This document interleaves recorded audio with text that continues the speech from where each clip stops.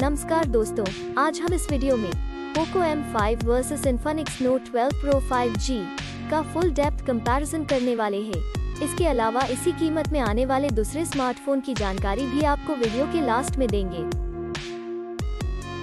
सबसे पहले बात करते हैं दोनों फ़ोन के डायमेंशन की। दोनों फ़ोन की लेंथ की बात करें तो पोको M5 में 6.45 इंच जबकि Note 12 Pro 5G में 6.48 इंच की लेंथ मिलती है। विथ की बात करें तो पोको M5 में 2.99 इंच जबकि Note 12 Pro 5G में 3.03 इंच की विथ मिलती है। बात करें थिकनेस की तो पोको M5 में 0.35 इंच जबकि Note 12 Pro 5G में 0.31 इंच की थिकनेस मिलती है। अब बात करते हैं वेट की तो पोको M5 में 201 ग्राम्स जबकि Note 12 Pro 5G में 188 ग्राम्स का वेट देखने को मिलता है। तो चलिए अब हम डिस्प्ले को कंपेयर करते हैं। डिस्प्ले टाइप की बात करें तो पोको M5 में IPS LCD जबकि Note 12 Pro 5G में AMOLED की डिस्प्ले मिलती है। एस्पेक्ट रेशियो दोनों फ़ोन में सेम ही 20 रेशियो 9 मिलता है। डिस्प्ले साइज़ की बात करें तो पोको M5 में 6.58 इंचेस जबकि Note 12 Pro 5G में 6.7 इंचेस मिलती है। डिस्प्ले रेजोल्यूशन पोको M5 में 1080 by 2408 और Note 12 Pro 5G में 1080 by 2400 मिलता है। Screen to body ratio Poco M5 में तिरासी दशमलव नौ दो प्रतिशत जबकि Note 12 Pro 5G में पिचासी दशमलव छह दो प्रतिशत मिलता है। बात करें PPI डेंसिटी की तो पोको M5 में 401 पिक्सल प्रति इंच जबकि Note 12 Pro 5G में तीन सौ तिरानवे पिक्सल प्रति इंच मिलती है। अब देखते हैं डिस्प्ले के अन्य फीचर्स यानी विशेषताएँ की जो कि मोबाइल फ़ोन का महत्वपूर्ण हिस्सा है। अब बात करते हैं सबके पसंदीदा फीचर्स कैमरा की। दोस्तों, सबसे पहले बात करें मेन कैमरा की तो पोको M5 में तीन कैमरा देखने को मिलता है, जिसमें कि प्राइमरी कैमरा मैक्रो कैमरा और आखिर में डेप कैमरा देखने को मिलता है।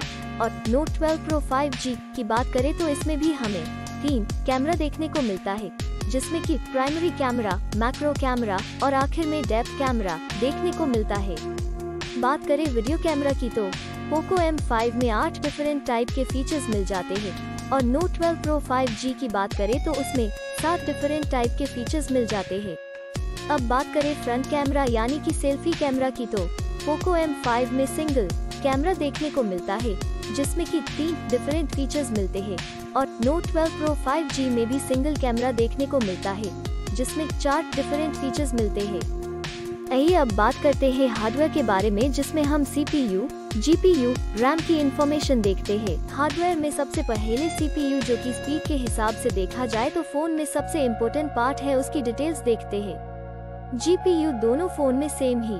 माली G57 MC2 देखने को मिलता है। चिपसेट की बात करें तो पोको M5 में MediaTek Helio G99 और Note 12 Pro 5G में MediaTek Dimensity 810 MT 6833 मिलता है। बात करें रैम की तो पोको M5 में दो वेरिएंट देखने को मिलता है, जिसमें चार गीगाबाइट छह गीगाबाइट की रैम मिलती है, जबकि Note 12 Pro 5G में एक ही वेरिएंट देखने को मिलता है, जिसमें आठ गीगाबाइट रैम मिल जाती है। बात करें इंटरनल मेमोरी जिसको हम स्टोरेज भी कहते हैं वो। पोको M5 में दो वेरिएंट देखने को मिलता है, जिसमें चौसठ गीगा बाइट एक सौ अट्ठाईस गीगा बाइट की स्टोरेज मिलती है, जबकि Note 12 Pro 5G में एक ही वेरिएंट देखने को मिलता है, जिसमें एक सौ अट्ठाईस गीगा बाइट स्टोरेज मिल जाती है। एक्सपैंडेबल मेमोरी की बात करें तो पोको M5 में up to five hundred twelve 512 gigabytes जबकि Note 12 Pro 5G में अप टू 2 टेराबाइट्स है। ऑपरेटिंग सिस्टम दोनों फ़ोन में एंड्रॉइड V12 देखने को मिलती है। बैटरी की बात करें तो दोनों फ़ोन में 5000 हज़ार देखने को मिलती है। आइए अब मेन फीचर को देखते हैं।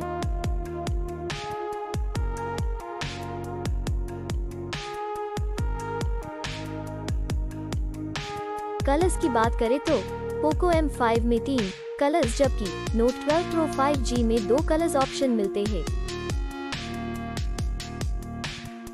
सब इन्फॉर्मेशन देखने के बाद बात करें प्राइस की तो पोको M5 में दो वेरिएंट देखने को मिलते हैं, जिसमें कि गीगा गीगाबाइट रैम चौसठ गीगाबाइट स्टोरेज के साथ बारह हज़ार चार सौ निन्यानवे रूपीज छह गीगाबाइट रैम 128 गीगाबाइट स्टोरेज के साथ चौदह हज़ार चार सौ निन्यानवे रूपीज में मिलता है और बात करें नोट 12 प्रो 5G की तो उसमें एक ही वेरिएंट मिलता है जो कि आठ गीगाबाइट रैम 128 गीगाबाइट स्टोरेज के साथ सत्रह हज़ार नौ सौ निन्यानवे रूपीज में मिलता है। दोस्तों, अब बात करते हैं प्रॉन्स एंड कॉन्स, यानी कि फ़ायदे और नुकसान की तो। पोको M5 में छह फ़ायदे और एक नुकसान देखने को मिलता है। जबकि बात करें इन्फिनिक्स नोट 12 प्रो 5G की तो उसमें सात फ़ायदे और एक नुकसान देखने को मिलता है। फाइनली बात करें है रिज़ल्ट की तो डिस्प्ले में दोनों फ़ोन सेम ही है। मेन कैमरा में नोट 12 प्रो 5G आगे है। फ्रंट सेल्फी कैमरा में दोनों फ़ोन सेम ही है। परफॉर्मेंस में दोनों फ़ोन सेम ही है। दोस्तों, अब हम सेम प्राइस में आने वाले दूसरे फ़ोन को भी देख लेते हैं। पहले कॉम्पिटिटर फ़ोन की बात करें तो उसमें सैमसंग गैलेक्सी M33 5G है, दूसरा टेक्नो स्पार्क 8P है, तीसरा टेक्नो स्पार्क 9 है और लास्ट कॉम्पिटिटर फ़ोन की बात करें तो उसमें टेक्नो स्पार्क 90 है। और ये सारे फ़ोन की डिटेल्स आपको डिस्क्रिप्शन में मिल जाएगी। दोस्तों, अगर आपको ये वीडियो अच्छा लगा है या आपके किसी भी काम में आया है तो प्लीज़ लाइक करना मत भूलना।